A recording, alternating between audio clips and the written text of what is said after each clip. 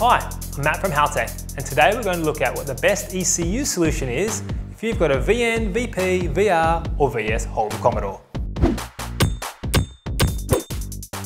If you've got a VN or VP Commodore, then the Haltech Platinum Sport GM ECU will plug directly into the OEM Holden wiring harness.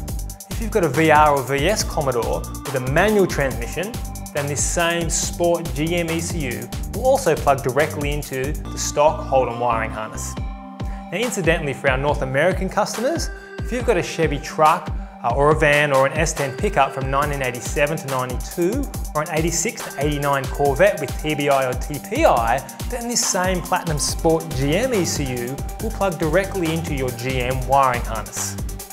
Make sure to check the full list of applications in the description below.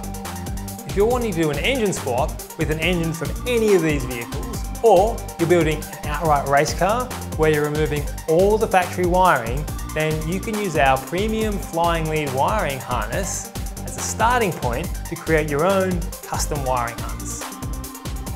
The Elite 2500 ECU or the Sport 2000 ECUs are a good fit for V6 and V8 engines. For more information on the difference between the Sport and Elite series ECUs, you can watch a more in-depth video on that topic by clicking on the link in the description below. Part numbers for all the products in this video are also listed in the description below. So there you have it. If you've got an older GM V6 or V8 and you want to run a Haltech ECU, these are your options. Well, I'm Matt from Haltech, and I'll see you next time.